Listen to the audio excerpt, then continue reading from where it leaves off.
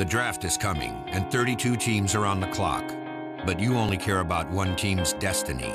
Will your team grab that power forward turn tight end? Or maybe that undersized corner that keeps sliding? Or could it be this is the year they finally draft someone you'd name your kid after? Over 250 names will be called. You just want to know which ones you'll end up yelling. Behind the scenes, beyond the headlines, before it happens. ESPN Insider, your way in.